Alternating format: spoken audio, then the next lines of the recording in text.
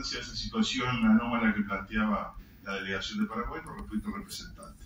En la medida que exista algún mecanismo electrónico, este, informático, el que sea, en que el operador pueda acceder a la información, eh, deja de tener sentido esa necesidad de recurrir a algún mecanismo de persecución respecto de esa persona. Nada más, muchas gracias.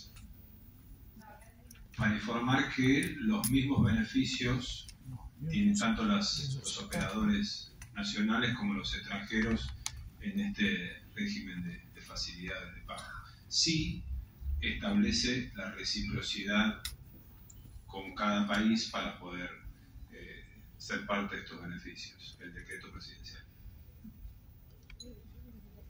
Perdón para completar lo que decía Luis. Este, no, no, lo, tengo claro, lo, había, estaba atento en su momento a la, a la exposición que hicieron sobre el tema, este, simplemente que esto abarca a, otros países y la verdad que no conozco en profundidad la reglamentación del resto de los países del Mercosur.